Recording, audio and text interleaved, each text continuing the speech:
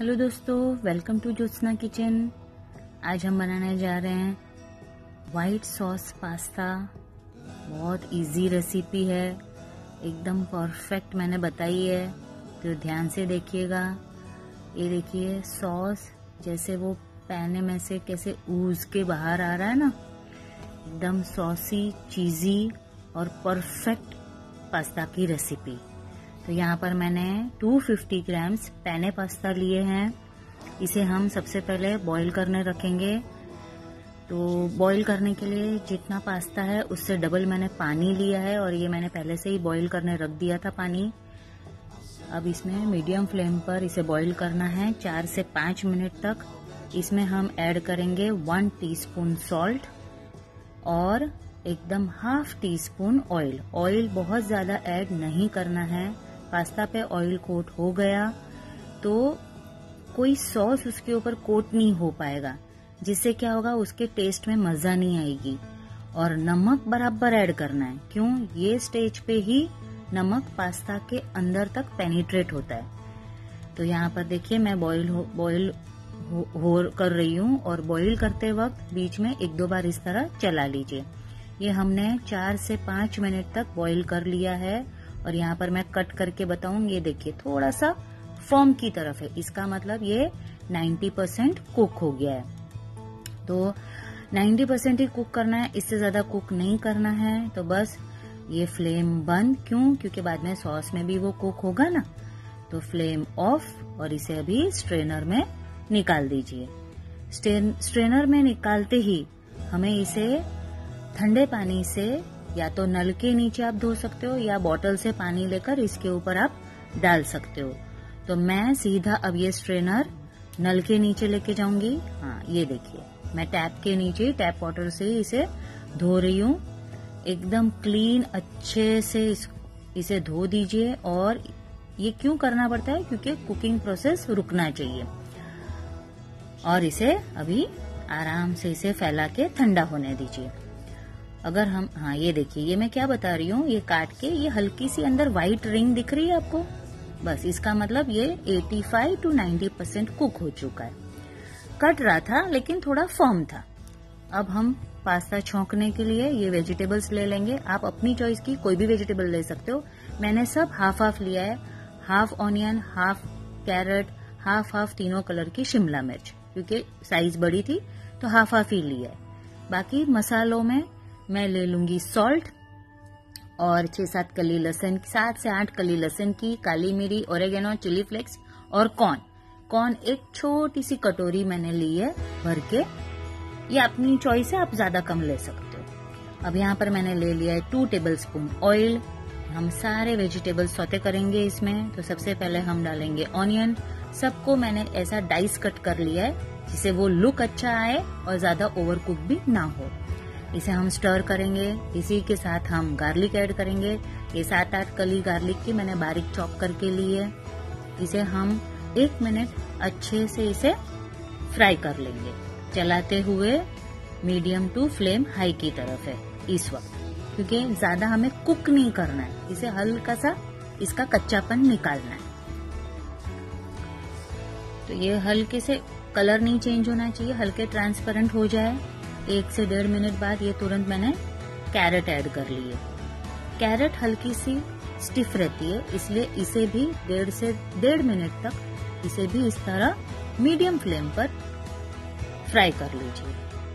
चलाते हुए मैंने ये डेढ़ मिनट कैरेट भी पका लिए। अब हम सारी शिमला मिर्च ऐड करेंगे, ग्रीन, येलो, रेड कैप्सिकम सब कुछ ऐड कर लेंगे। यहाँ पर ऐड करेंगे कॉर्न।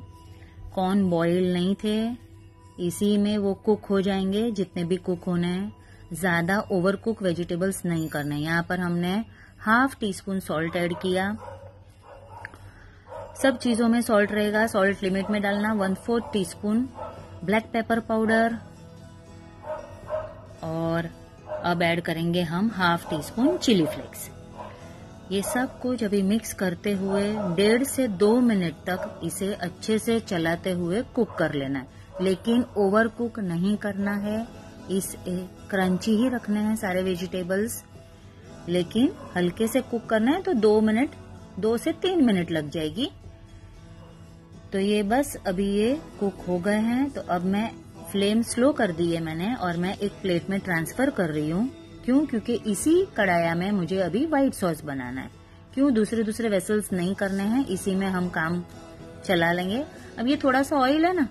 अच्छा इसी में अब हम बटर डालेंगे, क्योंकि व्हाइट सॉस तो बटर में ही बनता है।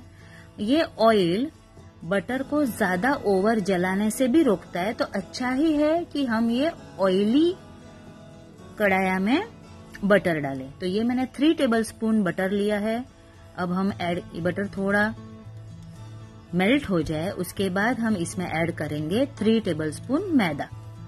जितना बटर लोगे, उतना ही मैदा लेना है। सेम प्रपोर्शन में तीन थ्री टेबल स्पून बटर था तो थ्री टेबल स्पून मैदा।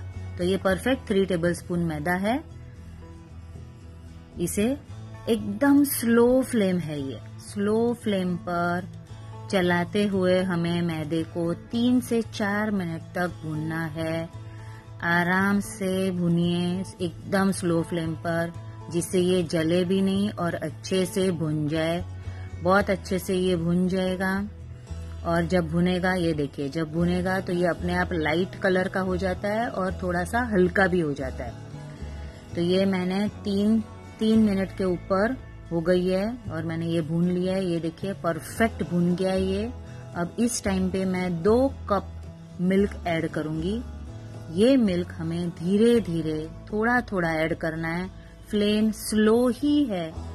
थोड़ा थोड़ा ऐड करेंगे तो लम्स नहीं होंगे। और ये टाइम पे आप हेल्प ले लीजिए विस्कर की, जिससे थोड़ा प्रोसीजर इजी हो जाता है। चम्मच से भी आप कर सकते हो बट विस्कर होगा इस तरह।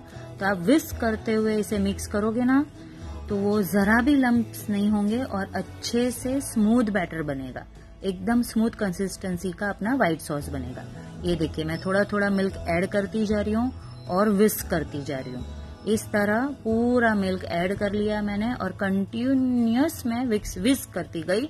ये सब कुछ पूरा प्रोसीजर मैंने स्लो फ्लेम पर किया था, जिससे जरा भी लम्स नहीं हुए और बैटर एकदम स्मूथ बन गया। तो इस तरह विस्कर होगा तो अच्छा है, वरना चम्मच से भी कर सकते हैं, वो कोई इश्यू नहीं है।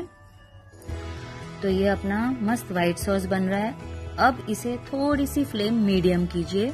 अब तक स्लो फ्लेम थी, अब मीडियम फ्लेम पे इसे आराम से दो से तीन मिनट पकने दीजिए। तो ये व्हाइट सॉस अपना पक जाएगा। ये देखिए, दो मिनट मैंने अच्छे से मीडियम फ्लेम पर पका लिया है और ये अपना व्हाइट सॉस मस्त पक गया है। परफेक्ट कंसिस्टेंसी कैसे मालूम पड़ता है? ये बैक ऑफ़ द स्पून पे ये कोट हो गया है एक लेयर पतला सा एक लेयर कोट हो गया ना? इसका मीनिंग ही वो हुआ कि हमारा व्हाइट सॉस पक गया है। इसी स्टेज पर हम ऐड करेंगे इसमें half teaspoon red chilli flakes और बाकी के भी मसाले, जो हाफ़ टी स्पून काली मिरी का पाउडर और मैं ऐड करूँगी यहाँ पर ओरेगेनो हम मिक्स हर्ब्स भी ले सकते हैं। ये मैंने हाफ़ टी स्पून सॉल्ट डाला है।